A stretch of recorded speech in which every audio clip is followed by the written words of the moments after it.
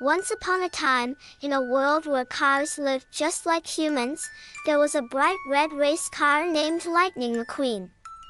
He was known far and wide as the fastest car on the racing circuit, with his sleek design and blazing speed.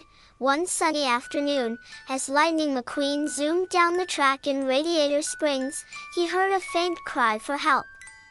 Curious, he slowed down and followed the sound to the edge of town, where he found a little blue car named Sally stuck in a ditch. Help me, please. Sally cried. I can't get out. Without hesitation, Lightning McQueen revved his engine and pulled Sally out of the ditch.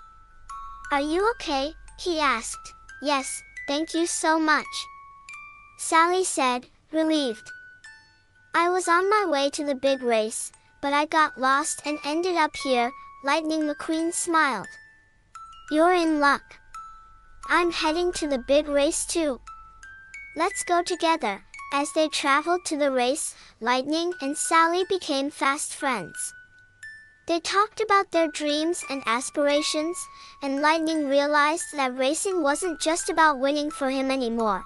It was about the friendships and experiences along the way. When they arrived at the race, they found out that the course was the toughest it had ever been. Lightning McQueen felt a bit nervous, but with Sally's encouragement, he lined up at the starting line. The race was intense. Cars zipped past each other, and the crowd roared with excitement. Lightning McQueen raced with all his might, but as he approached the final lap, he noticed that Sally had fallen behind. Remembering their journey together, he made a decision that surprised everyone. Instead of racing ahead to secure the win, Lightning McQueen slowed down and waited for Sally. Together, they crossed the finish line side by side. In last place, the crowd went silent for a moment, then erupted in cheers. Lightning McQueen had shown that true victory wasn't about crossing the finish line first, but about helping others and valuing friendship. From that day on, Lightning McQueen and Sally became legends not just for their racing skills, but for their hearts of gold.